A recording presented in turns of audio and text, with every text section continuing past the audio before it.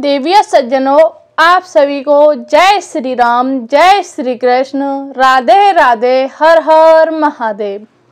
आप सभी भक्तगण भी बोलिए, हर हर महादेव। आज की कहानी बहुत ही प्रेरणादायक कहानी होने वाली है।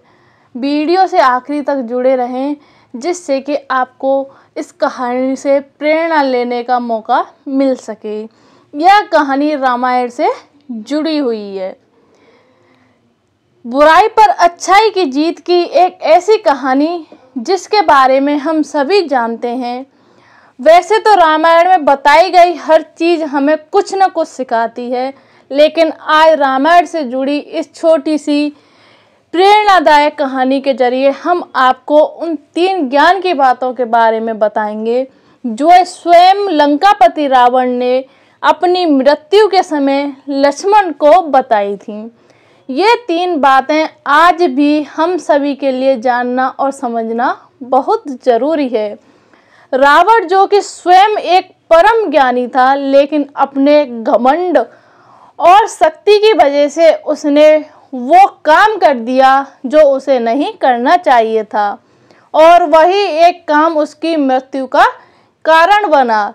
रावण बुराई का एक प्रतीक था, लेकिन उसमें ज्ञान की कोई कमी नहीं थी, जिसके चलते उसने लक्ष्मण को तीन बातों के बारे में बताया, जो हम सभी के लिए जानना ज़रूरी है। आज इस वीडियो के माध्यम से हम उन तीन बातों के बारे में ज़रूर जानेंगे, जिससे कि हमें भी वह ज्ञान मिल सके, जो लक्ष्मण जी को रावण ने दिया था। श्री राम द्वारा मारे गए तीर की वजह से ज़मीन पर पड़ा रावण जिस समय अपनी अंतिम सांस ले रहा था तो उस वक्त श्री राम ने लक्ष्मण से कहा कि रावण एक महाज्ञानी पंडित है।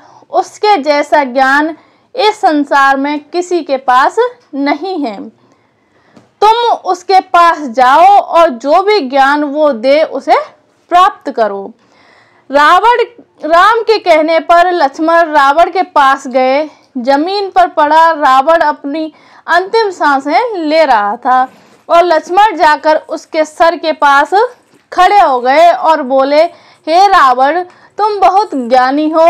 अपने आखिरी समय में मुझे कुछ ज्ञान की बातें बताकर जाओ। रावण ने लक्ष्मण की तरफ़ देखा और उससे मुँह फेर लिया। लक्ष्मण ने एक बार फिर यही प्रश्न किया, लेकिन रावण ने लक्ष्मण की तरफ़ देखा भी नहीं। रावण के इस व्यवहार को देखकर लक्ष्मण को गुस्सा आ गया और वो श्री राम के पास गए और जाकर सारी बात उन्हें बताई। लक्ष्मण की इन बात सुनकर श्री राम बोले, गुरु से शिक्षा उनके पैरों के पास बैठकर ली जाती है और ना कि उनके सर के सामने खड़े रहकर। राम की बात सुनकर लक्ष्मण रावण के पैरों के पास बैठ गए, जिसके बाद रावण ने उन्हें ज्ञान की वो तीन बातें बताई जो सिर्फ़ लक्ष्मण के लिए ही नहीं, बल्कि आज भी हम सभी के लिए जानना बहुत ही ज़रूरी है। पहली बात, जो रावण ने लक्ष्मण को बताई, किसी भी शुभ काम को करने में कभी देरी नहीं करनी चाहिए। कोई भी अच्छा काम जितनी जल्दी हो सके उसे कर देना चाहिए और बुरे काम को हमेशा टालते रहना चाहिए। दूसरी बात जो रावण ने लक्ष्मण को बताई, अपने शत्रु या प्रतिद्वंदी को कभी भी कमज़ोर नहीं समझना चाहिए।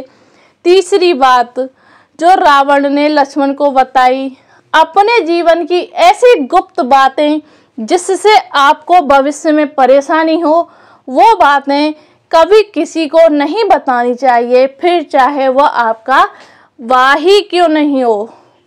दोस्तों, यह कहानी आपको अच्छी लगी हो तो आज इस कहानी को लाइक कर दें सब्सक्राइब कर दें और वीडियो को शेयर ज़रूर कर दें।